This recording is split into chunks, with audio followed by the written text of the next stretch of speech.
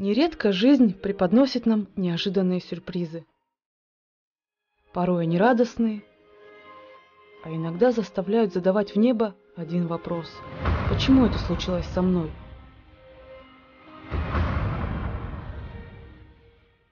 И мы начинаем задумываться, вот если бы сейчас произошло чудо, и все бы изменилось, и тут же сами себе объясняем, что это невозможно.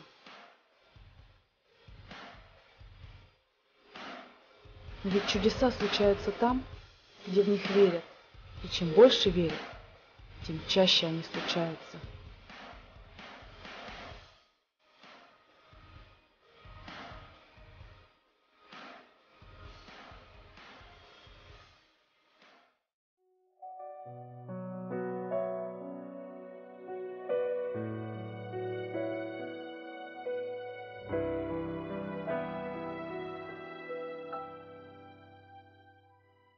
Сегодня мы расскажем вам удивительную историю, которая случилась с нашим героем. Алексея смело можно назвать счастливым человеком. Жена, ребенок, хорошая работа, верные друзья. Но произошло горе. Молодой человек потерял единственного родителя, свою маму. Э, я вел объект в Томске и поехал, после похорон ее поехал в Томск. Ехал на последнем автобусе и сел возле окна, и ну, меня продуло. Я приехал туда, и как бы у меня была температура там дня три, она не спадала. Ну, я пил там всякие терафлю, но мне не помогало. И на протяжении, наверное, недели там температура все не сходила, не сходила, и я ну, поехал сюда, в Новосибирск, ну, проверяться. Приехал сюда, домой, и ну, жена встретила, она поехала в магазин, и я держал Богдана на руках.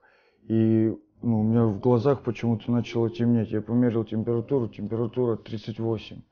Вызвали скорую, приехала скорая, поставили диагноз, какая-то инфекция, и меня увезли в инфекционную больницу. Алексей пошел на поправку, и, казалось бы, все страшное осталось позади.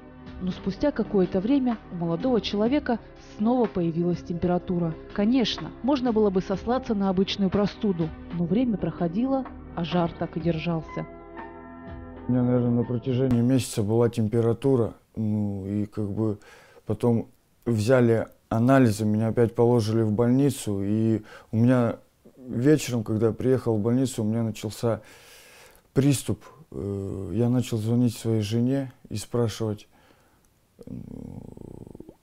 там, где ну, мое золото, ну, где мое кольцо. И вот так на протяжении часа я через каждые 30 секунд звонил жене. И, ну, и звонил брату. Позвонил брату также через каждые 30 секунд спрашивал, где я, ну, что со мной. Ну, мне объясняли, я в больнице. И потом я вечером пошел в туалет и упал в обморок.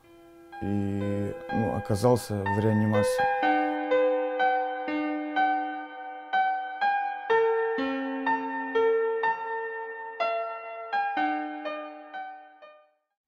Супруга, брат, близкие и сам герой передачи не понимали, что происходит. Впрочем, как и врачи, ведь диагнозы менялись один за другим, но пациенту не становилось лучше. Он уже не мог ходить, в принципе. Все. То есть ужасное состояние было. Я видел то, что ну, сильно плохо было человек, очень плохо.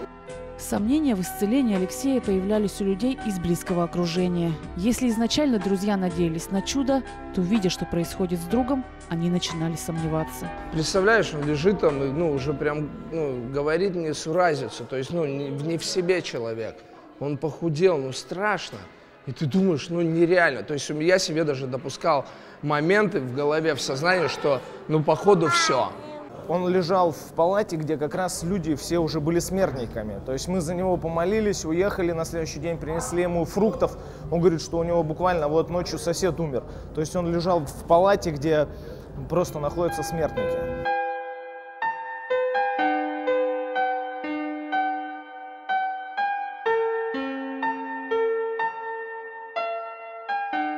Врачи отказывались лечить Алексея, ведь они считали его смертником. Причина. Но в чем же причина? Алексей задавал вопросы в небеса. Для чего эта болезнь? А может быть из-за чего? За что? Почему именно с ним все это происходит? В абсолютно здоровом молодом организме. Будучи в недоумении, он оставался сильным и не сомневался, что все это закончится победой. Я задавал вопросы в небеса, почему так, Бог? На что спустя некоторое время я получил ответ, что то, что сейчас происходит в моей жизни, это моя война, которую я должен пройти. А молитвы святых – это всего лишь служение вспоможения. Не сомневалась в этом и супруга Елена. Она оказалась очень сильным человеком. В первую очередь это, наверное, благодаря Богу, потому что если бы не его как бы, ну, если бы не, мои, ну, не моя молитва Богу, да, не вот внутренняя вот эта вот поддержка какая-то, вот, не знаю, со стороны, да, поддерживали, но в основном, как бы вот, у меня внутреннее было вот это вот какой-то стержень такой, что я, ну, справлюсь, я это пройду, я это перенесу, это все когда-то закончится, потому что я по-другому не могла думать вообще. Хотим мы верить или не хотим, но факт остается фактом. Помимо физических законов есть духовные. И как видно на примере Алексея, все решают именно они. Не, ну всякая болезнь – это определенно демоническая атака. И когда человек находится под демонической атакой, это прежде всего даже не столько там, внешний вид, сколько это атмосфера. Атмосфера зла, атмосфера страдания и боли. И в эту атмосферу трудно приходить, конечно. Когда мы его увидели тогда в больнице, посетили, то это была как камера смертников, как будто люди были приговоренные к смерти. Соответственно, к ним также все относились, и было очень трудно. Только имея веру, можно было выкарабкаться из этой ситуации. Осознав нюансы духовного фундамента проблемы, Алексей и Евгения пришли на помощь. Приехав в больницу, они изменили атмосферу в духовном мире, атмосферу смерти. Когда мы позвали Алексея и начали молиться, какая-то медсестра проходила мимо, спросила, что вы делаете. Мы говорим, что мы молимся, она позволила нам это делать. И вот в тот момент уже духовно, где-то внутри, на уровне интуиции, я увидел и почувствовал, как атмосфера изменилась, как а, вместо боли пришла какая-то внутренняя радость, внутренняя уверенность, что он встанет, он выживет. И мы ему говорили эти вещи, мы вдохновляли его, мы пророчествовали ему, что ты будешь жить, ты будешь исцелен, ты будешь полностью восстановлен. Это явилось мощным толчком к исцелению Алексея Горбачева. Были в больнице, сели в углу, и мы Евгения вела меня в молитве, ну, говорила слова, я повторял за ней, и прям очень сильное присутствие пришло, я прям плакал и, ну, говорил эти слова отречения. И, знаете, вечером мне позвонил друг, мы с ним разговаривали, я ему говорю, слушай, ну мне, ну, походу, пора уже уходить с этой больницы, мне так классно, такая легкость. Ту же ночь Алексею снится сон, после которого все для него становится ясным. В этот день, когда я ложился спать, мне прям приснился сон. И сон был таков, мне прям снилось, как будто бы я бегу, и мне вот такой голос. Алексей, обвернись, ну, ты должен забрать ну, это обратно. Ты должен забрать это обратно. И я позвонил Константину Ильиных, и он мне говорит, Алексей, ну что ты хотел? ну, родовое проклятие, оно разрушается не за одну молитву, ну, это война. Соответственно, война – это начало, это конец. Все давно теперь позади, но пройдя этот сложный путь, можно сделать вывод, что чудо – это не волшебство, это вера, умноженная на терпение и смирение. Поставили диагноз, этот хронический колит, и подошло время э, моей жене рожать.